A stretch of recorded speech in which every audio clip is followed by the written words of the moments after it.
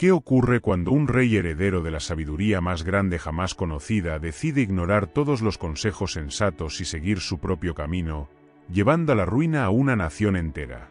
La historia de Roboam, hijo de Salomón, es un relato de decisiones fatídicas, arrogancia desmedida y consecuencias devastadoras que cambiaron para siempre el curso de Israel. En este vídeo, exploraremos cómo un solo acto de soberbia dividió un reino poderoso y dejó lecciones imborrables para la humanidad. Si te interesa descubrir cómo el orgullo de un rey puede destruir un legado, quédate con nosotros hasta el final. Y recuerda, si te apasionan estas historias bíblicas cargadas de enseñanzas, suscríbete y comparte este vídeo para que otros también puedan aprender de estos relatos que han trascendido el tiempo. En la cúspide de su gloria, el reino de Israel bajo el mandato de Salomón brillaba como una joya resplandeciente en medio del desierto.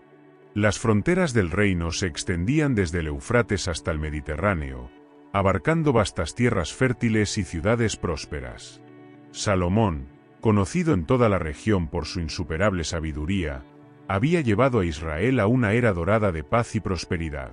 Sus decisiones eran admiradas por reyes y líderes de tierras lejanas, quienes buscaban su consejo y enviaban tributos en reconocimiento de su grandeza. El Templo de Jerusalén, la obra maestra de Salomón, se erguía majestuoso, con paredes de piedra tallada y decoraciones de oro puro. Este santuario no solo simbolizaba la devoción de Israel hacia su Dios, sino también la opulencia y el poder del reino. Comerciantes de Tiro, Egipto y otros lugares distantes llegaban a Jerusalén, trayendo consigo especias, oro, marfil y madera de sándalo, enriqueciendo aún más las arcas del reino. Bajo la guía de Salomón, Israel había alcanzado una era de esplendor que parecía destinada a durar para siempre. En medio de esta opulencia, Roboam, el hijo primogénito de Salomón, crecía bajo la sombra imponente de su padre. Nacido en un ambiente de riqueza y lujo, Roboam fue educado por los mejores maestros y rodeado de consejeros sabios que le instruyeron en las leyes de Israel y en los caminos de la diplomacia. Desde joven, se le enseñó a valorar la sabiduría de su padre y a comprender la complejidad de gobernar un reino tan vasto. Sin embargo, aunque Roboam recibía la mejor educación, su carácter estaba lejos de igualar la sabiduría y prudencia de Salomón. Roboam era consciente de las expectativas que pesaban sobre sus hombros. Sabía que un día ocuparía el trono que su padre había engrandecido y que se esperaría del que gobernara con la misma sabiduría. Sin embargo, mientras Salomón se dedicaba a fortalecer el reino y aumentar su gloria, Roboam se inclinaba más hacia los placeres de la vida cortesana que hacia las responsabilidades del liderazgo. Aunque se le preparaba para gobernar, sus decisiones y acciones mostraban signos de imprudencia y arrogancia, características que contrastaban con la paciencia y el discernimiento de su padre. Con el paso del tiempo, la edad de Salomón comenzó a pasar factura, y los ojos del pueblo de Israel se volvieron hacia Roboam. Habían vivido bajo un reinado marcado por la paz y la abundancia, y deseaban que esa estabilidad continuara. La nación estaba acostumbrada a un rey que tomaba decisiones justas, que era respetado por sus enemigos y venerado por sus súbditos. Las tribus de Israel anhelaban que el sucesor de Salomón, su hijo Roboam, demostrara la misma sabiduría y benevolencia que había caracterizado a su padre. Sin embargo, también existía un temor latente. ¿Sería Roboam capaz de sostener el legado de Salomón o llevaría al reino a la ruina?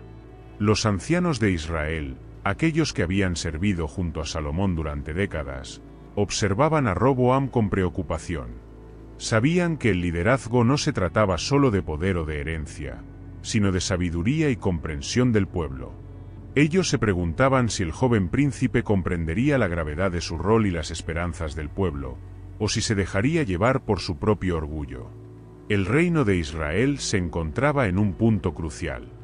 Roboam estaba a punto de heredar un legado inmenso, pero con él venían grandes responsabilidades. Mientras el pueblo esperaba con ansias el futuro bajo su nuevo líder, una pregunta persistía en sus corazones. ¿Podría Roboam ser un rey digno de su padre, o su reinado marcaría el inicio de la decadencia de Israel?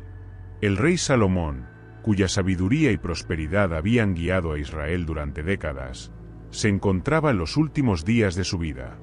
Su reinado, aunque glorioso, no había estado exento de desafíos y decisiones controvertidas. La construcción del Templo de Jerusalén, sus numerosos proyectos de construcción y su vida fastuosa habían requerido un enorme esfuerzo por parte del pueblo. Los impuestos y las cargas laborales impuestas para sostener tales empresas comenzaban a generar resentimiento, especialmente entre las tribus del norte.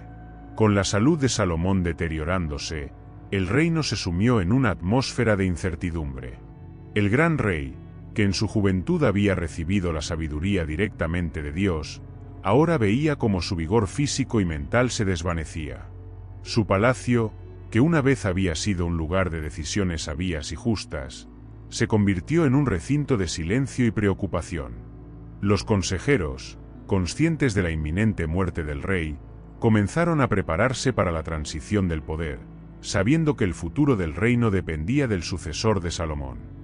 Finalmente, tras un largo y doloroso deterioro, Salomón falleció.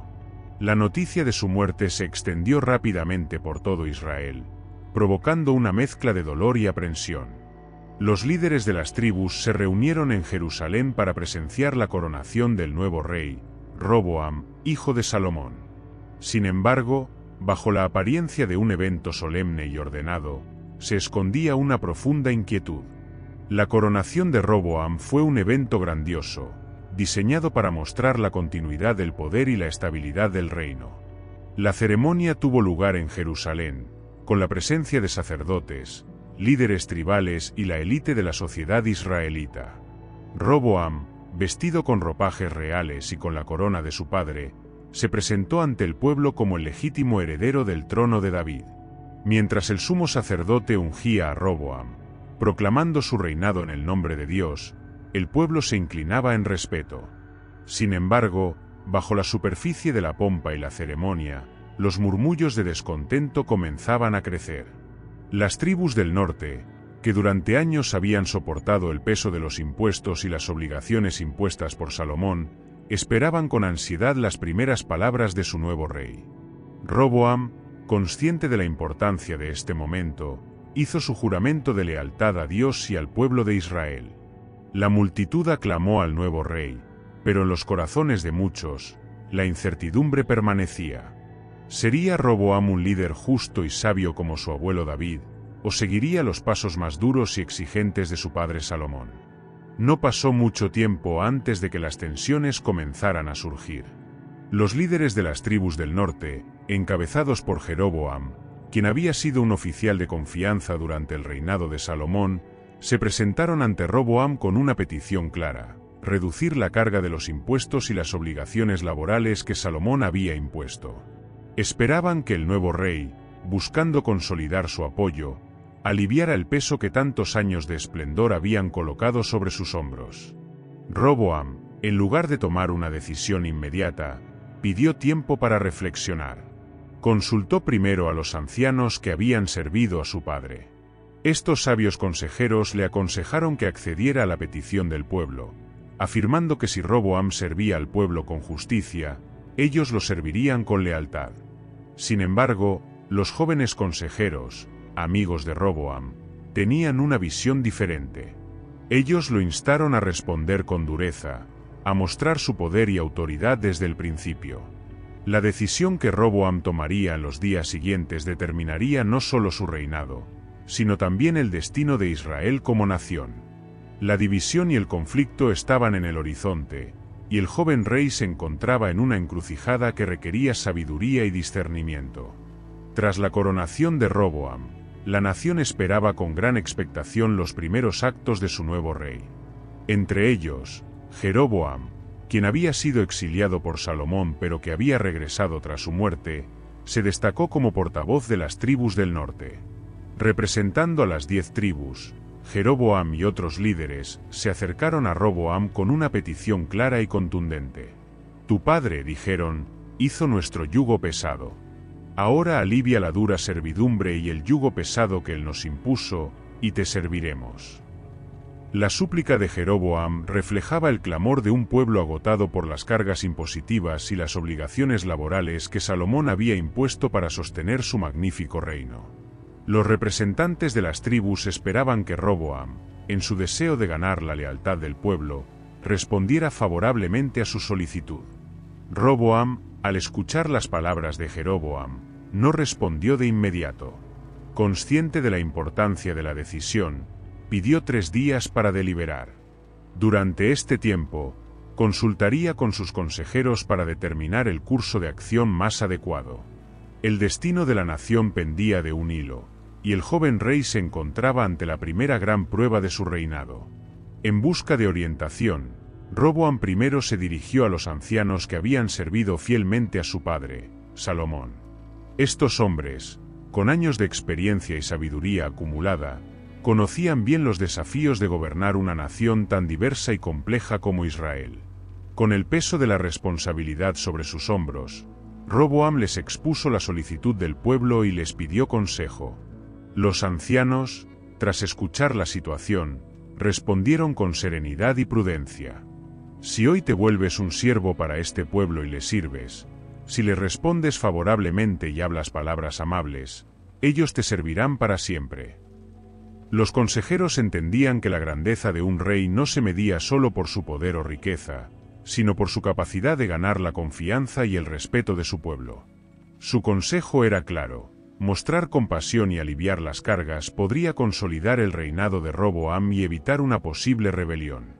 Sin embargo, la decisión final aún recaía sobre Roboam. El joven rey escuchó atentamente las palabras de los ancianos, pero sus pensamientos seguían conflictuados. Sabía que los ancianos hablaban desde la experiencia, pero también sentía la presión de demostrar su autoridad como nuevo monarca. Inquieto y en busca de otras opiniones, Roboam se dirigió entonces a sus amigos y consejeros más jóvenes, aquellos que habían crecido con él en la corte real. Estos jóvenes, sin la experiencia ni la sabiduría de los ancianos, veían la situación desde una perspectiva diferente. Para ellos, la petición del pueblo no era una oportunidad para demostrar compasión, sino un desafío a la autoridad del nuevo rey. Así responderás al pueblo que te ha dicho, tu padre hizo nuestro yugo pesado, pero tú alivianos. Les dirás, mi dedo meñique es más grueso que la cintura de mi padre. Si mi padre les impuso un yugo pesado, yo añadiré a su yugo. Mi padre los castigó con azotes, pero yo lo haré con escorpiones. Los jóvenes consejeros instaban a Roboam a mostrarse fuerte e implacable, a demostrar que él no sería un rey débil que cedería ante las demandas del pueblo. Según ellos, un rey debía gobernar con mano firme, sin mostrar señales de debilidad. Roboam, en su deseo de consolidar su poder y asegurarse de que su autoridad no fuera cuestionada, decidió seguir el consejo de sus jóvenes amigos. Ignorando las advertencias de los ancianos, se preparó para dar una respuesta que cambiaría el curso de la historia de Israel. La decisión que tomaría en los días siguientes marcaría el comienzo de una nueva era, una era de división y conflicto que resonaría a lo largo de los siglos. Los tres días que Roboam había solicitado para deliberar finalmente llegaron a su fin. El pueblo de Israel, expectante y lleno de esperanza, se reunió en Siquelm para escuchar la decisión de su nuevo rey. Entre ellos se encontraban los líderes de las tribus del norte, encabezados por Jeroboam, quienes esperaban que Roboam mostrara comprensión y misericordia al responder a su petición. Sin embargo, lo que estaban a punto de escuchar cambiaría el destino de la nación para siempre. Con la solemnidad propia de un monarca, Roboam se levantó para dirigirse al pueblo. Sus palabras resonaron con firmeza y determinación, pero carecían de la sabiduría y la compasión que habían caracterizado a su abuelo David, y en sus mejores momentos, a su padre Salomón. En lugar de aligerar las cargas que tanto habían agobiado al pueblo, Roboam proclamó con dureza su intención de aumentarlas aún más. Mi padre les impuso un yugo pesado, yo añadiré a su yugo. Mi padre los castigó con azotes, pero yo lo haré con escorpiones. El impacto de estas palabras fue inmediato. La esperanza que muchos albergaban de un reinado más justo y misericordioso se desvaneció en un instante. Roboam había dejado claro que gobernaría con mano dura, sin considerar las necesidades y el sufrimiento del pueblo. Al elegir este camino, el joven rey no solo ignoró el consejo de los ancianos, sino que también despreció la oportunidad de unificar al reino bajo su liderazgo. La respuesta del pueblo no se hizo esperar. Las tribus del norte, al escuchar la decisión de Roboam, sintieron que sus peores temores se habían confirmado. Ya no veían en Roboam a un rey que representara sus intereses, sino a un tirano que amenazaba con oprimirlos aún más. La indignación se transformó rápidamente en rebelión. Encabezados por Jeroboam, las tribus del norte se alzaron en abierta oposición a Roboam. Rechazaron su autoridad y lo repudiaron como rey, proclamando en cambio a Jeroboam, un hombre que conocía su sufrimiento y compartía su visión, como su líder. ¿Qué parte tenemos nosotros con David? gritaron. No tenemos heredad en el hijo de Isaí. A tus tiendas, Israel. Ahora, mira por tu casa, David. Este grito de desafío selló la ruptura entre las tribus del norte y el linaje de David. En cuestión de días, la unidad que Salomón y David habían trabajado tanto por construir se desmoronó. Roboam, sorprendido y abrumado por la magnitud de la rebelión, apenas tuvo tiempo de reaccionar antes de que las tribus del norte se separaran completamente del reino. La ruptura fue definitiva. Israel, que durante años había sido una nación unida bajo un solo rey, se dividió en dos reinos distintos. El reino del norte, que incluía a diez de las tribus de Israel, quedó bajo el liderazgo de Jeroboam y tomó el nombre de Israel. Este reino, aunque numeroso y próspero, se distanció del templo de Jerusalén y comenzó a adoptar prácticas que, con el tiempo, lo llevarían a la idolatría y la decadencia espiritual. Por otro lado, Roboam mantuvo el control sobre el reino del sur, que comprendía las tribus de Judá y Benjamín.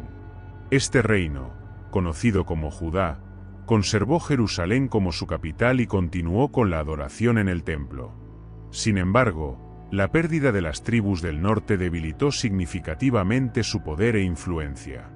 Roboam se encontró gobernando un reino más pequeño y menos cohesionado, enfrentando constantes amenazas tanto internas como externas. La división de Israel marcó el comienzo de una nueva era de conflicto y rivalidad entre los dos reinos. La decisión imprudente de Roboam no solo fracturó la nación, sino que también sentó las bases para siglos de lucha y hostilidad. Lo que había sido un reino glorioso y unificado bajo Salomón, ahora se encontraba dividido, debilitado y al borde del colapso. Tras la división del reino, Roboam regresó a Jerusalén, ahora como rey de un reino reducido y fragmentado. El reino de Judá, compuesto por las tribus de Judá y Benjamín, se encontraba rodeado de enemigos externos y con un sentido creciente de inseguridad interna. Lo que una vez fue un reino unido y próspero bajo Salomón, ahora era una nación frágil, amenazada tanto por los reinos vecinos como por la creciente hostilidad del reino del norte, Israel. El gobierno de Roboam en Judá fue marcado por la incertidumbre y la necesidad de consolidar su poder en medio de las adversidades. Consciente de la amenaza que representaba Jeroboam, su antiguo rival, y del resentimiento que aún latía en su propio pueblo, Roboam se enfocó en estabilizar su reino y reafirmar su autoridad. Sin embargo, su liderazgo carecía de la sabiduría y el discernimiento que habían caracterizado a los grandes reyes de Israel antes que él. Aunque Roboam intentó gobernar con fuerza, sus decisiones a menudo exacerbaban los problemas en lugar de resolverlos. Judá, bajo el reinado de Roboam, se vio envuelta en un periodo de declive espiritual. La influencia de las prácticas idólatras, que Salomón había permitido al final de su reinado, se intensificó. Roboam, sin la firmeza necesaria para guiar al pueblo hacia la fidelidad a Dios, permitió que la idolatría se extendiera, debilitando aún más la cohesión y la fe de la nación. La corrupción moral y espiritual comenzó a arraigarse en la sociedad, alejando a Judá de los caminos del Señor. Consciente de la fragilidad de su reino y temeroso de las constantes amenazas de sus enemigos, Roboam emprendió un ambicioso proyecto de fortificación de ciudades. Este esfuerzo no solo tenía como objetivo proteger Judá de posibles invasiones externas, sino también consolidar su control sobre las regiones más vulnerables del reino. Roboam fortaleció las murallas de ciudades clave como Betlehem, Eglón, Hebrón y Laquis, equipándolas con guarniciones y suministros suficientes para resistir largos asedios. Además, Roboam aumentó las defensas de las ciudades fronterizas de Benjamín, la tribu aliada más cercana, para crear una barrera entre Judá y el reino de Israel al norte. Estas fortificaciones representaban un intento de Roboam por asegurar su posición y disuadir cualquier intento de Jeroboam por expandir su influencia sobre las tribus del sur. Sin embargo, aunque las defensas físicas se fortalecieron, el reino de Judá seguía enfrentando divisiones internas y un declive espiritual que ni las murallas más robustas podían contener. El esfuerzo de fortificación también tenía un objetivo político enviar un mensaje de poder y resolución tanto a sus propios súbditos como a Jeroboam. Pero en su afán por consolidar su autoridad mediante la fuerza, Roboam perdió de vista la necesidad de unir a su pueblo bajo una visión común y una fe compartida. Mientras las ciudades de Judá se volvían fortalezas, el corazón del reino continuaba debilitándose. La relación entre Roboam y Jeroboam fue tensa desde el principio, y no pasó mucho tiempo antes de que estallaran conflictos abiertos entre los dos reinos. Jeroboam, ahora rey del reino del norte, no solo había usurpado la autoridad de Roboam sobre las tribus del norte, sino que también había establecido centros de adoración idólatra en Betel y Dan, en un intento por desviar a su pueblo de Jerusalén y del templo. Este acto no solo desafió la autoridad religiosa de Roboam, sino que también intensificó la rivalidad entre los dos reinos. Roboam, aunque indignado por la apostasía de Jeroboam, carecía del poder militar y la unidad interna necesaria para llevar a cabo una guerra a gran escala contra el reino del norte. Aún así, ambos reyes se involucraron en numerosos enfrentamientos menores a lo largo de sus reinados, luchando por el control de territorios fronterizos y la lealtad de las tribus vecinas. El conflicto entre Roboam y Jeroboam no se limitó a lo militar también fue un enfrentamiento ideológico.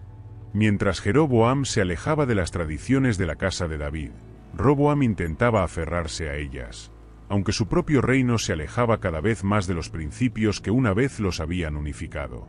La división entre Israel y Judá se hizo cada vez más profunda, y lo que comenzó como un conflicto político se convirtió en una lucha por la identidad y el futuro espiritual de las dos naciones. A medida que Roboam continuaba su reinado en Judá, la tensión con Jeroboam nunca disminuyó. Ambos reinos, debilitados por su rivalidad, avanzaban hacia un futuro incierto, donde las decisiones imprudentes del pasado seguían cobrando un alto precio. El reinado de Roboam no solo estuvo marcado por la división política y militar de Israel, sino también por un declive espiritual que erosionó los cimientos mismos de la nación. Siguiendo los pasos de su padre, Salomón, Roboam permitió que la idolatría y la adoración de dioses extranjeros se arraigaran en el reino de Judá. Mientras que Salomón, en su vejez, había sido influenciado por sus esposas extranjeras para construir altares a deidades paganas, Roboam no hizo ningún esfuerzo por revertir estas prácticas. En lugar de ello, las fomentó, permitiendo que proliferaran en todo su reino. Los santuarios dedicados a dioses como Baal y Astarte comenzaron a aparecer en las colinas de Judá.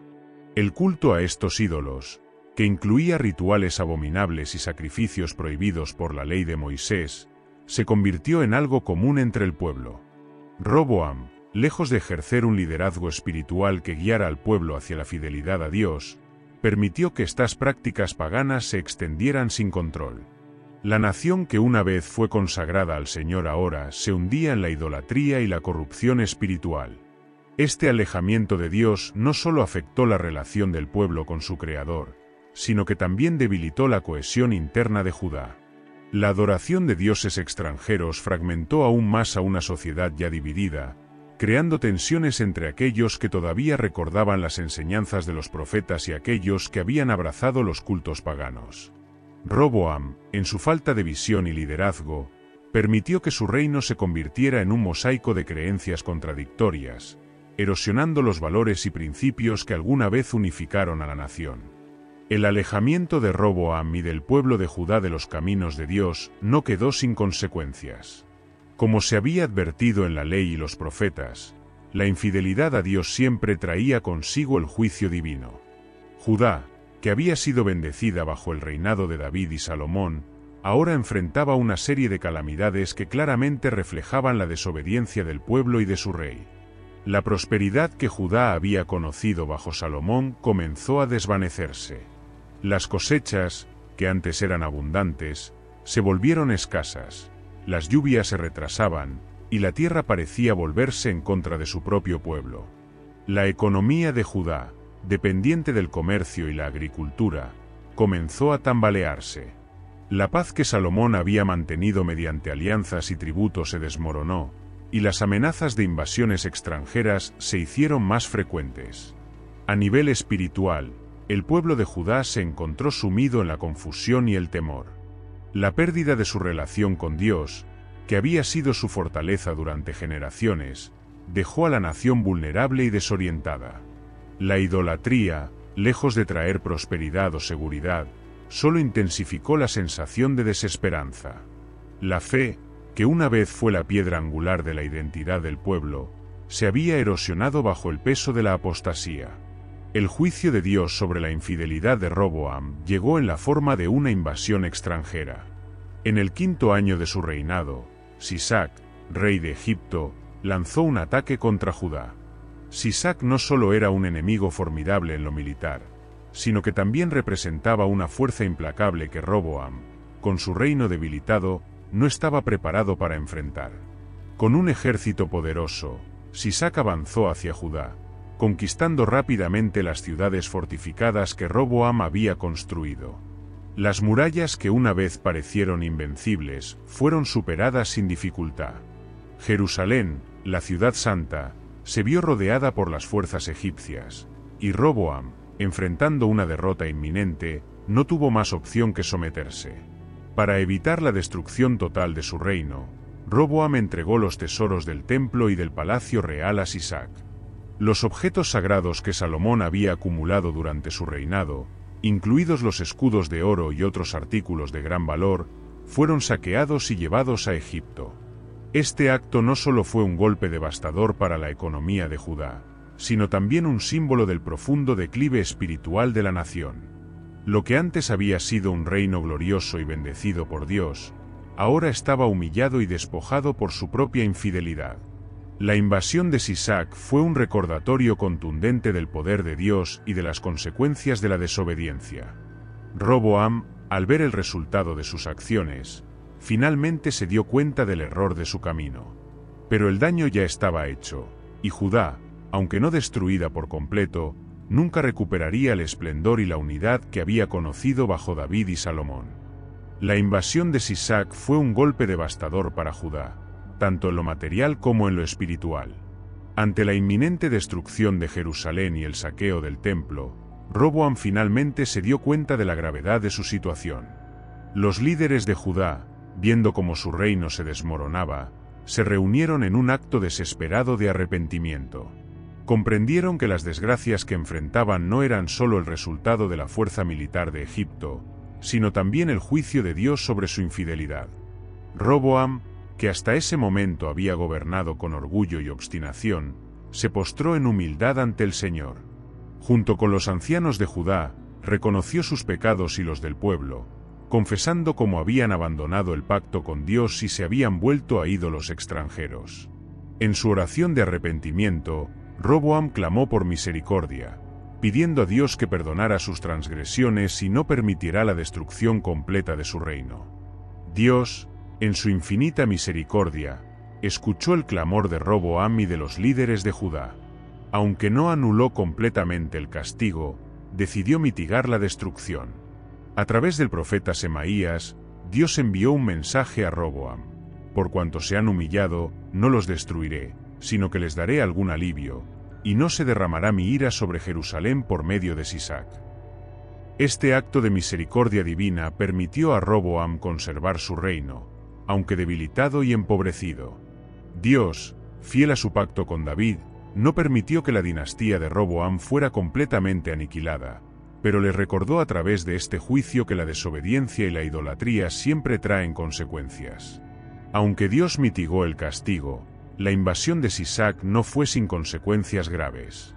Para evitar la destrucción total de Jerusalén, Roboam se vio obligado a entregar los tesoros más preciados de su reino.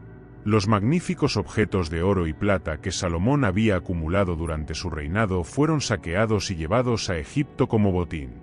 Entre ellos se encontraban los escudos de oro que adornaban el palacio, símbolo del esplendor y la gloria pasados. La pérdida de estos tesoros fue un duro golpe para la moral de Judá. Lo que una vez fue un reino próspero y poderoso, ahora se encontraba despojado y humillado. Roboam, consciente de la gravedad de esta derrota, ordenó que se fabricaran escudos de bronce para reemplazar los de oro, pero la sustitución no hizo más que resaltar la decadencia del reino. El esplendor dorado de los días de Salomón había sido reemplazado por el brillo más tenue del bronce, un recordatorio constante de lo que se había perdido por la infidelidad.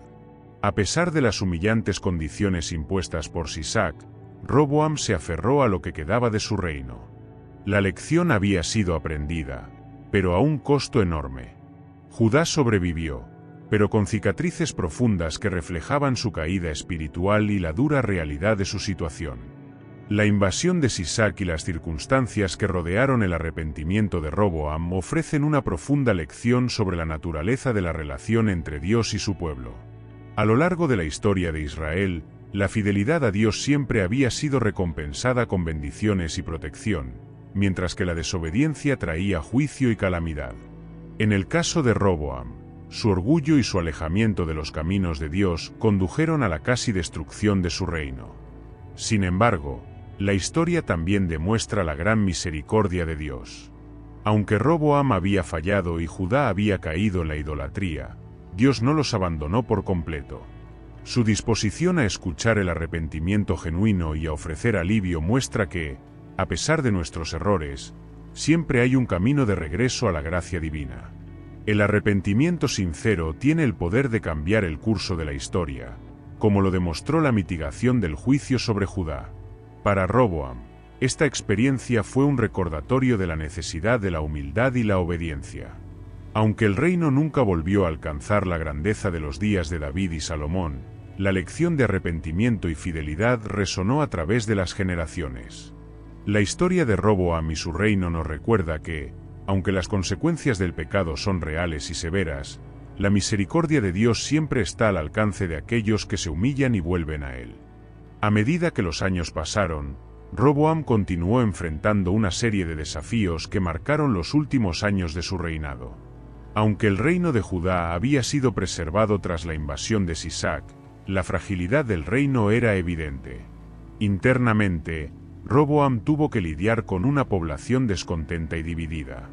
La idolatría que había permitido se había arraigado profundamente, generando tensiones entre los que todavía adoraban al Señor y aquellos que seguían las prácticas paganas. Externamente, Judá seguía siendo vulnerable a las amenazas de sus vecinos. Las naciones circundantes, viendo la debilidad de Judá tras la invasión egipcia, comenzaron a presionar las fronteras del reino. Roboam se vio obligado a fortalecer aún más las defensas y a mantener un estado de alerta constante. Estos años estuvieron marcados por una continua lucha por mantener la estabilidad y la seguridad de su reino. A pesar de estos esfuerzos, Roboam no pudo restaurar la grandeza de Judá. Las divisiones internas y la decadencia espiritual continuaron minando la cohesión y la fuerza de la nación. Roboam, quien había comenzado su reinado con la promesa de seguir los pasos de Salomón, terminó sus días enfrentando un reino fragmentado y debilitado. Uno de los aspectos más significativos de los últimos años de Roboam fue su relación con Jeroboam, el rey del reino del norte. Desde el comienzo, la relación entre ambos fue tensa y conflictiva. Jeroboam, habiendo usurpado el control sobre las diez tribus del norte, se convirtió en un rival directo de Roboam. A lo largo de sus respectivos reinados, los dos monarcas se enfrentaron en numerosos conflictos, tanto militares como ideológicos. Jeroboam, en su intento por consolidar su control sobre Israel, promovió la idolatría y estableció centros de culto en Betel y Dan para desviar a su pueblo del templo en Jerusalén. Esto no solo fue un desafío político, sino también un ataque directo contra la identidad religiosa de Judá. Roboam, aunque consciente de la gravedad de esta apostasía, no logró imponer su autoridad sobre Jeroboam ni revertir la división que había desgarrado a la nación. La falta de reconciliación entre Roboam y Jeroboam perpetuó la división entre los dos reinos. Mientras que Roboam intentó en varias ocasiones fortalecer su posición militar y espiritual, nunca pudo superar el antagonismo de Jeroboam. Este conflicto continuo no solo debilitó a ambos reinos, sino que también dejó un legado de rivalidad que persistiría durante generaciones. Al final de su vida, Roboam fue recordado por el pueblo de Judá con una mezcla de sentimientos. Por un lado, había sido el rey que, a pesar de sus errores, había logrado preservar la dinastía davídica en Jerusalén. Su arrepentimiento y el alivio del juicio divino demostraron que, incluso en sus momentos más oscuros, Roboam buscó redención. Sin embargo, su reinado también estuvo marcado por el fracaso en mantener la unidad de Israel, la pérdida de los tesoros del templo y la propagación de la idolatría. El legado de Roboam es un recordatorio de cómo las decisiones tempranas en el liderazgo pueden tener repercusiones duraderas. Su falta de sabiduría al escuchar a los jóvenes consejeros, su rechazo a aliviar las cargas del pueblo, y su permisividad hacia la idolatría contribuyeron al debilitamiento de Judá. Aunque intentó corregir sus errores en sus últimos años, el daño ya estaba hecho, y su reino nunca alcanzó la estabilidad y la gloria que una vez disfrutó bajo David y Salomón. En la historia de Judá, Roboam es recordado como un rey que tuvo la oportunidad de unificar y fortalecer a su pueblo, pero que, en su lugar, lo dividió y lo llevó al borde de la ruina. Su vida y reinado sirven como advertencia sobre los peligros del orgullo, la imprudencia y la falta de liderazgo espiritual. La división del reino de Israel, resultado directo de las decisiones de Roboam, tuvo un profundo impacto en la identidad y el destino del pueblo de Israel. Lo que una vez fue una nación unida bajo la monarquía de David y Salomón se fragmentó en dos reinos separados y en constante conflicto, el reino del norte, Israel, y el reino del sur, Judá. Esta fractura no solo debilitó a la nación militar y políticamente, sino que también erosionó la cohesión cultural y espiritual que había sido el sello distintivo del pueblo de Dios. La división llevó a un debilitamiento de la identidad nacional. Las tribus del norte, bajo el liderazgo de Jeroboam, se distanciaron de Jerusalén y del templo, estableciendo sus propios lugares de culto que eventualmente condujeron a una mayor apostasía. Mientras tanto, Judá, aunque conservó el templo y la ciudad santa, se vio sumida en la corrupción y la idolatría bajo el reinado de Roboam. Las diferencias religiosas, políticas y sociales entre los dos reinos se profundizaron con el tiempo, haciendo que el concepto de una nación de Israel unificada se convirtiera en un recuerdo distante. El impacto de esta división se sintió durante generaciones. Los conflictos entre Israel y Judá continuaron debilitando ambos reinos, haciéndolos vulnerables a las invasiones extranjeras y a la influencia de culturas paganas. La ruptura también tuvo un profundo efecto en el pueblo común, que se encontró dividido entre lealtades y prácticas religiosas en competencia. La visión de un Israel unido bajo un solo Dios y un solo rey, como se había prometido a Abraham, parecía desmoronarse bajo el peso de la división y la desobediencia. La historia de Roboam ofrece valiosas lecciones sobre el liderazgo y las consecuencias de decisiones imprudentes. Uno de los errores más evidentes de Roboam fue su incapacidad para escuchar a los consejeros sabios y experimentados, optando en su lugar por seguir el consejo de sus jóvenes amigos, quienes carecían de la perspectiva y la madurez necesarias para guiar a una nación. Esta decisión no solo alienó a una gran parte de su pueblo, sino que también desencadenó una cadena de eventos que llevó a la división del reino. El liderazgo requiere sabiduría, humildad y una profunda comprensión de las necesidades y preocupaciones del pueblo. Roboam falló en todas estas áreas. Su arrogancia y deseo de demostrar su autoridad le impidieron ver la importancia de servir al pueblo con justicia y compasión. En lugar de construir sobre el legado de su abuelo David y su padre Salomón, Roboam eligió un camino de dureza y opresión que resultó en la ruptura de la nación. Para los futuros reyes de Judá, La historia de Roboam sirvió como una advertencia sobre los peligros de un liderazgo imprudente y egoísta. Los errores de Roboam no solo afectaron su propio reinado, sino que también sentaron un precedente de división y conflicto que continuaría durante siglos. El liderazgo, como lo demuestra esta historia, no se trata solo de gobernar con poder, sino de guiar con sabiduría y servicio. A pesar de los errores y las fallas humanas, la mano de Dios estuvo presente a lo largo de la historia de Roboam. Desde el principio, Dios había advertido a Israel sobre las consecuencias de la desobediencia y la idolatría. La división del reino y las calamidades que siguieron fueron, en gran medida, el cumplimiento de las advertencias divinas. Sin embargo, incluso en medio del juicio, la misericordia de Dios se manifestó. El hecho de que Dios mitigara el castigo tras el arrepentimiento de Roboam demuestra que, aunque el pueblo se desvió, Dios nunca abandonó su pacto.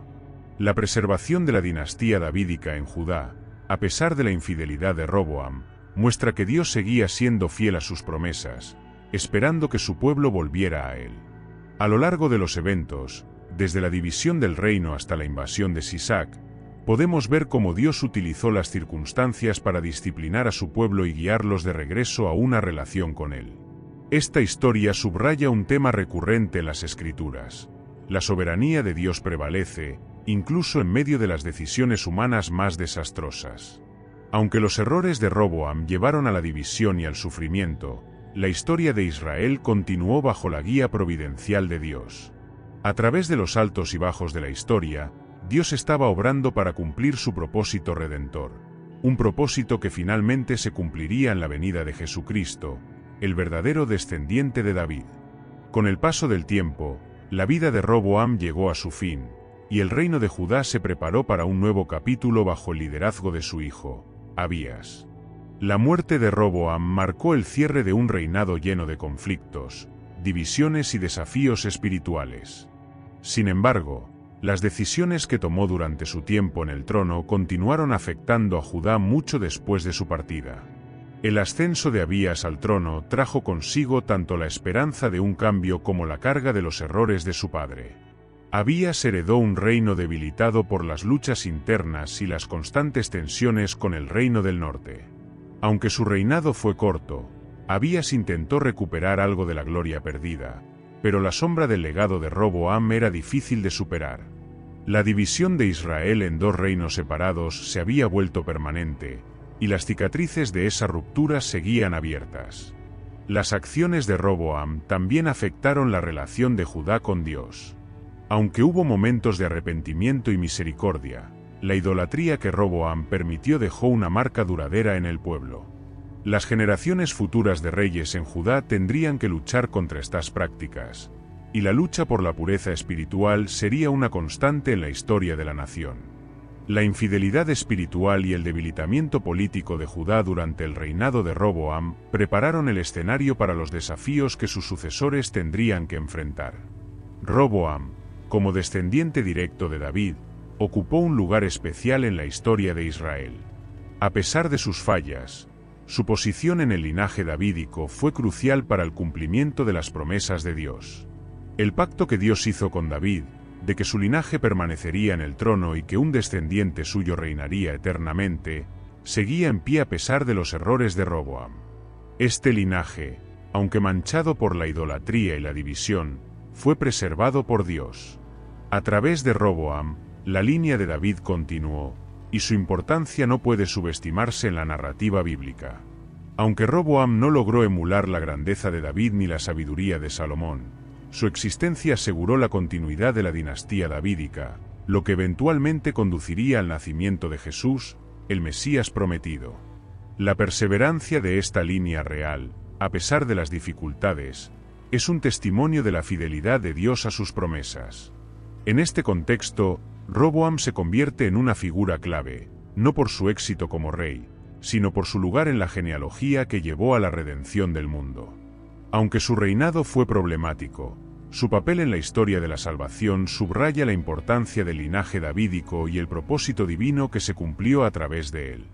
La historia bíblica no es indulgente con Roboam. Su reinado es recordado principalmente por la división de Israel, una división que nunca se curó y que eventualmente condujo a la caída tanto del reino del norte como del reino del sur. El juicio de la historia sobre Roboam es severo. Es visto como un rey que, a través de su imprudencia y arrogancia, rompió la unidad del pueblo de Dios y debilitó la nación. Los errores de liderazgo de Roboam, su falta de sensibilidad hacia las necesidades de su pueblo, y su permisividad hacia la idolatría lo colocan en una posición de debilidad en comparación con sus antecesores. Mientras que David es recordado como el hombre conforme al corazón de Dios y Salomón como el rey sabio, Roboam es recordado como el rey bajo cuyo mandato el reino se fracturó. Su legado, aunque preservado a través del linaje, es uno de advertencia y tristeza. Sin embargo, a pesar de este juicio negativo, la historia de Roboam también sirve como un recordatorio del poder del arrepentimiento y la misericordia divina. Aunque falló en muchos aspectos, su vida demuestra que incluso en medio de los errores más grandes, hay oportunidades para buscar la redención y la reconciliación con Dios. Roboam puede ser juzgado duramente por la historia, pero su historia también ofrece lecciones importantes sobre el liderazgo, la fe y la importancia de permanecer fiel a los caminos de Dios. La vida y el reinado de Roboam ofrecen numerosas lecciones morales que resuenan a través de los siglos. En primer lugar, la historia de Roboam subraya la importancia de la humildad en el liderazgo. Su decisión de rechazar el consejo de los ancianos y seguir el consejo de los jóvenes, motivado por su deseo de afirmar su autoridad, demuestra cómo el orgullo puede llevar a decisiones desastrosas. La arrogancia de Roboam al imponer cargas más pesadas sobre su pueblo en lugar de aliviarlas, resultó en la fractura del reino y en un conflicto que persistió durante generaciones. Otra lección importante es la necesidad de escuchar y considerar las necesidades del pueblo. El liderazgo no es simplemente el ejercicio del poder, sino un acto de servicio. Roboam no supo entender este principio fundamental, y como resultado, perdió la confianza y el apoyo de una gran parte de su nación. Su fracaso en responder con compasión y justicia a las preocupaciones de su pueblo no solo debilitó su reinado, sino que también sembró las semillas de la división y el conflicto. Finalmente, la historia de Roboam nos enseña sobre las consecuencias de la infidelidad espiritual. Al permitir que la idolatría se extendiera en Judá, Roboam no solo desobedeció a Dios, sino que también puso en peligro el bienestar espiritual de su pueblo. La idolatría llevó a la decadencia moral y espiritual de la nación, y el juicio de Dios fue inevitable.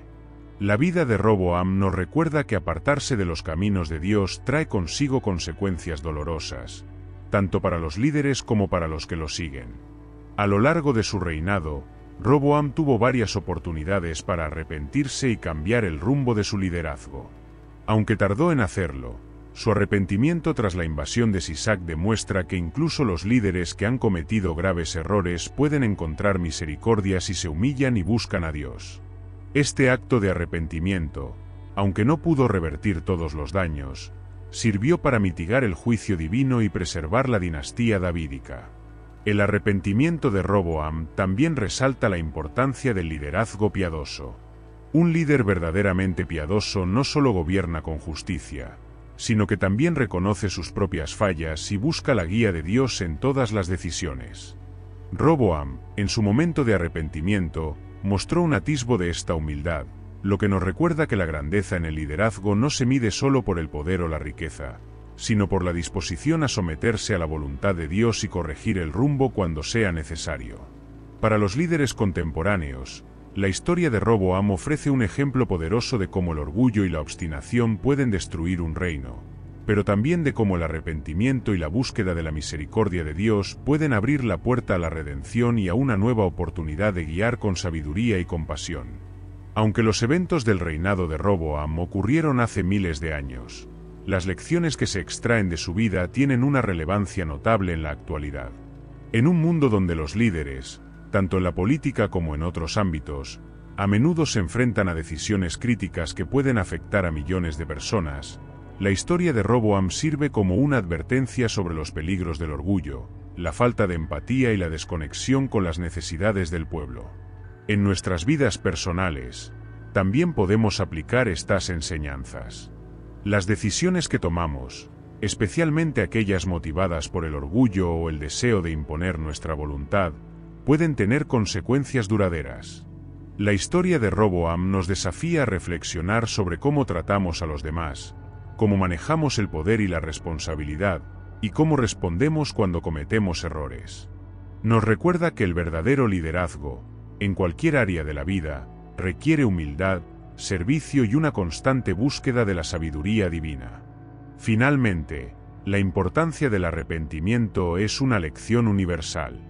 Todos cometemos errores, pero lo que define nuestro carácter es cómo respondemos a ellos. Como nos muestra la vida de Roboam, es posible encontrar redención y corregir nuestro rumbo, pero solo si estamos dispuestos a reconocer nuestras fallas y volvernos a Dios con un corazón sincero. La historia de Roboam es una narrativa rica en lecciones sobre liderazgo, humildad y las consecuencias de nuestras decisiones. Comenzando con grandes expectativas como el heredero de Salomón, Roboam enfrentó una serie de desafíos que pusieron a prueba su capacidad para gobernar. Sin embargo, su orgullo, su falta de discernimiento y su desconexión con las necesidades de su pueblo lo llevaron a tomar decisiones que dividieron el reino y debilitaron la nación de Israel. A lo largo de su reinado, Roboam tuvo oportunidades para cambiar el rumbo. Aunque su arrepentimiento tardío mitigó el juicio de Dios sobre Judá, el daño ya estaba hecho. Su legado es una advertencia sobre los peligros del liderazgo imprudente y un recordatorio de que las decisiones motivadas por el ego y la obstinación pueden tener repercusiones duraderas. Sin embargo, también es una historia de redención potencial, donde el arrepentimiento y la búsqueda de la misericordia de Dios abren la puerta a una segunda oportunidad, aunque los resultados no siempre sean lo que esperamos. La historia de Roboam, aunque trágica en muchos aspectos, nos deja con una reflexión poderosa, la importancia de la humildad, la sabiduría y la dependencia de Dios en todas nuestras decisiones.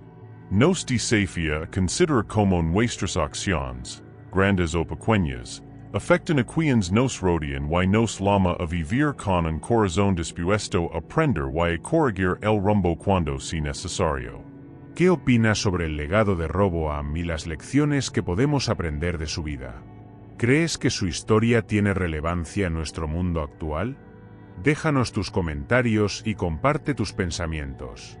Y si disfrutaste esta historia, no olvides suscribirte a nuestro canal para más contenido fascinante sobre personajes bíblicos y las enseñanzas que nos ofrecen. Nos encantaría contar con tu participación en futuras reflexiones.